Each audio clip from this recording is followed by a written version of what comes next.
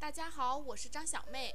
今天用一块豆腐、三个鸡蛋，分享一道简单的家常美食。先把豆腐切成块儿，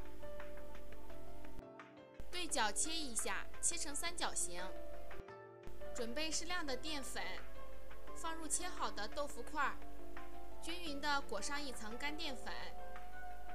碗中打入三颗鸡蛋，搅散后浇在豆腐里。轻轻地晃动盘子，让豆腐块均匀地裹上一层蛋液。我们再准备些配料，切点葱段、蒜末，准备一些青红椒，切成滚刀块。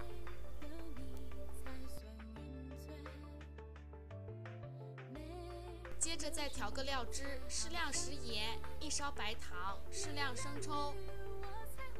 少许蚝油调味，搅拌均匀就可以了。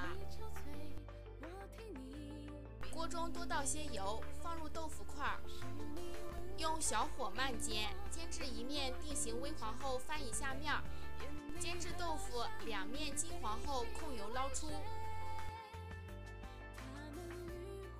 锅中留底油，放入葱段、蒜末炒香，加入一勺豆瓣酱，炒出红油，加入半碗清水。倒入炸好的豆腐块，提前泡发好的木耳，倒入我们调好的料汁，小火煮一分钟左右，让豆腐入味儿。倒入青红椒，少许水淀粉勾芡，收干汤汁即可出锅。